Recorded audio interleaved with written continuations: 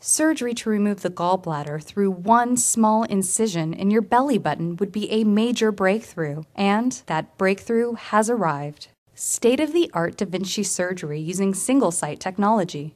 Da Vinci is minimally invasive robotic surgery that allows your surgeon to operate with 3D HD visualization and smaller, more precise movements through one belly button incision.